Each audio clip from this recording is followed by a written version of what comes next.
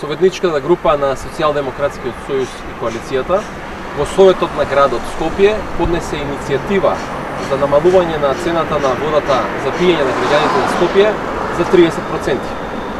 Тоа би значило дека од сегашните 29,39 денари за метар кубен, граѓаните на Скопје од сега би плаќале цена од 20,57 денари. Иницијативата ја понесовме од повеќе причини зголеменото ниво на сиромаштија и намалената куповна моќ на граѓаните. Водата представува еден од основните животни природни ресурси и таа мора да продолжи да постане достапна за сите граѓани на Скопје. Јавното предпријатие Водовод и канализација очигледно е дека има пари за луксузна барокна административна зграда, која што ги чини најмалку 10 милиони евра. Кога веќе има пари да се луксузира, најмалку што може предпријатието е да ја намали цената на водата на чинење за граѓаните. Коце Трајановски оваа година ќе потроши над 46 милиони евра за Скопје 2014, што значи за раскош и луксус.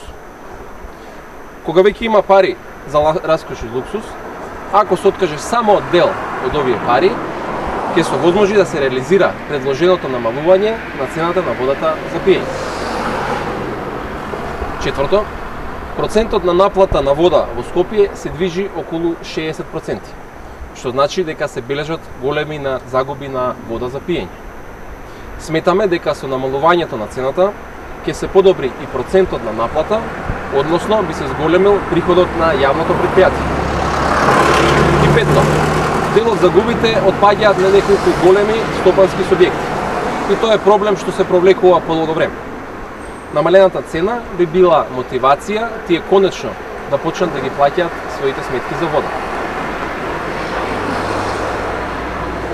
Во текот на дебатата на седницата на Советот, во детали ќе ги презентираме нашите аргументи за намалување на цената на водата за 30%. Се надеваме на поддршка од страна на сите советнички групи во Советот на градот Скопје, бидејќи од намалувањето на цената корист ќе имаат сите граѓани на Скопје, без разлика на нивната национална, верска или политичка определба.